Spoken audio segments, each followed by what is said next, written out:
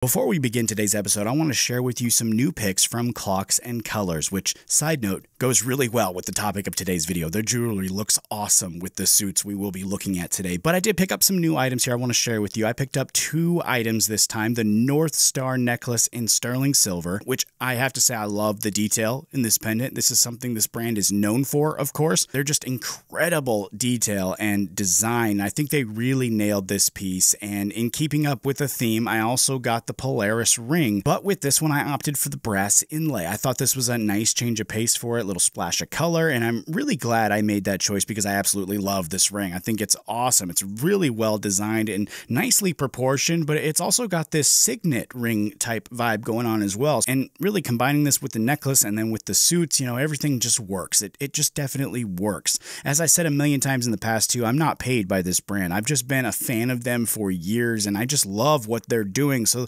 that's why I showcase them and, and pick things up regularly. And if you want to pick up these or anything on their site, just check the link in the description. Now, though, on to today's episode.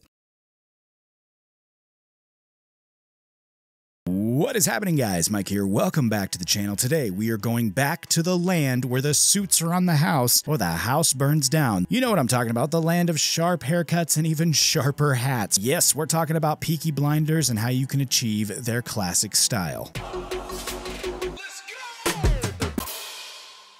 Now, I want to start with saying this has probably been my most requested video, which really surprises me, honestly, out of all the stuff that I've made. But, you know, that's sometimes how YouTube works. I want to also start by saying that we have already done a few videos on this subject, but some of you were having issues with actually buying the pieces that I was showing in those videos, which I know is super annoying. So, what I've been doing in the background is I've been trying to find a new site to partner with so we can do more of these videos and give you guys a good place to go to get these these awesome suits. And that site is Happy Gentleman, and that's the site that we're going to be using today to create the look that we're going after. And speaking of that look, I figured since we're kind of restarting this whole thing that we should start with a classic fan favorite, Mr. Tommy Shelby. Now, and before we get too far, I do want to also say that I've heard your requests. I am currently working on two more videos after this to recreate two more looks, including this one from Michael Gray, a pinstriped one that was specifically requested, and then one of my personal favorites, Alfie Solomons. So be on the lookout for these two videos. They are coming soon. Hit the subscribe button if you haven't already, and you can see those right when they come out. Today, though, we are going to be doing a Tommy Shelby inspired look. The main part of this, of course, is the suit. That's the main piece of the look. You know, this looks to me to be charcoal. It's, a, it's of course, a, a tweed suit. Most, mostly all of them are tweed suits, but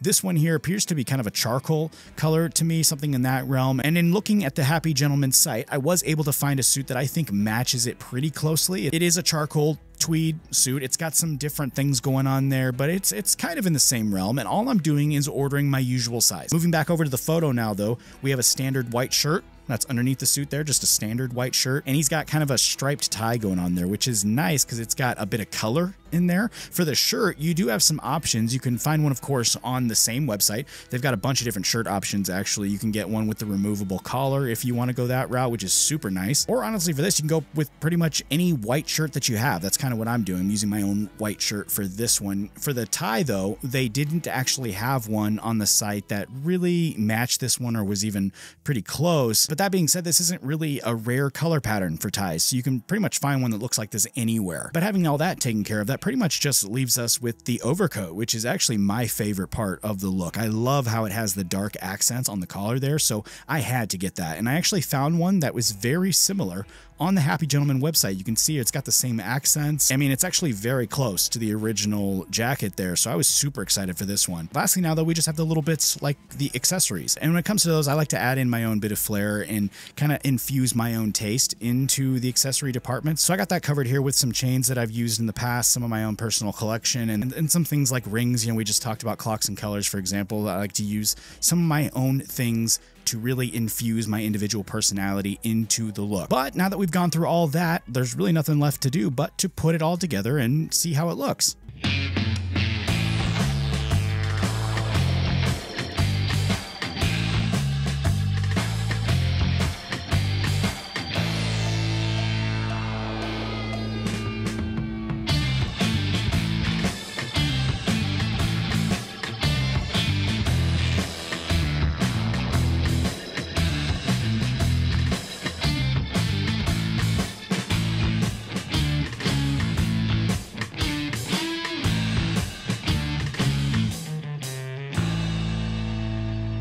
Right, now that we've seen it all and put it all together, I want to answer some of your questions here. I get asked almost every time I do one of these about the quality of the suit, and I'm going to be straight up. These are not top of the line suits, and they're really not advertised as such. Nobody's claiming them to be top of the line suits, but I want to mention that they're not bottom of the barrel either. You know, they are a little thin, especially the overcoat. I noticed the overcoat was a little bit thin, but it's not so thin that it's laughable. You know, I would have no problem wearing this to a wedding or a formal event. Honestly, I really wouldn't. And really, in my opinion, these are perfect, like middle ground suits. You know, they're not bottom of the barrel, but they're not top of the line either. They're just like perfectly, you know, affordable middle ground suit items. I want to add that also for the sizing, I ordered my standard suit size again. I ordered the, the jacket in 42R. That's just what I always get when, even when I'm buying a suit off the rack. That's the same size there. And the pants, they actually came unhemmed, of course, as they usually do, in a waist size 36, which is a little bit big. Uh, my waist size is a 34. So if I was going to wear these to an event or something like that, I would have to have it tailored and taken in here and there, which is actually what I would prefer to do for a more customized fit with the entire suit, not just the pants. But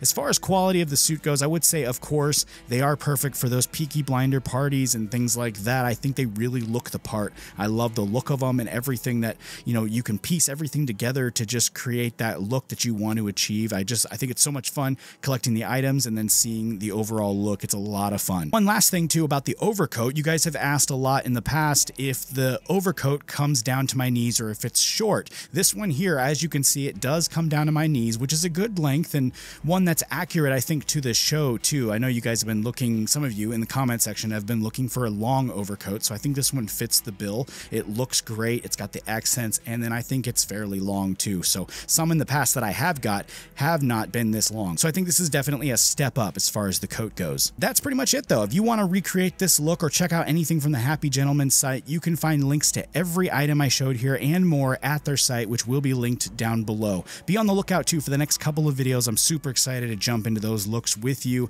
And if you have any more suggestions, feel free to drop them in the comment section and I'll see about working those out for you as well. If you haven't yet subscribed, make sure you do that and make sure you hit that like button for me. That's a big help to me. I really appreciate that. And as usual, take it easy. I'll see you next time.